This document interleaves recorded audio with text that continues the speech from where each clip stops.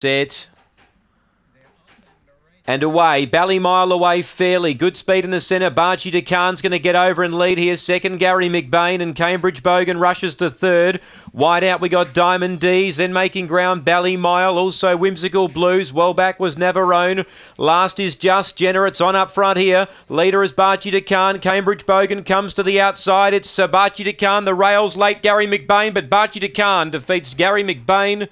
Uh, Ballymile maybe third from Cambridge Bogan. They were close up, those two. Whimsical Blues next in from Navarone, Diamond D's, and Just Jenna, the reserve, was last of all. So five, the winner.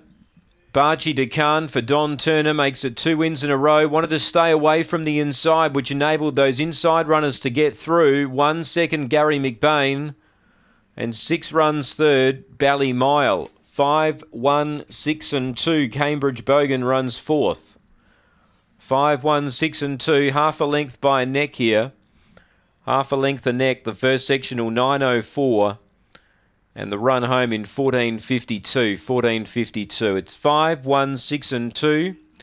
23.56 was the run. 23.56. So Don Turner, the winning trainer. Barchi DeCan does it too good and has taken out the fourth event here from Gawler today.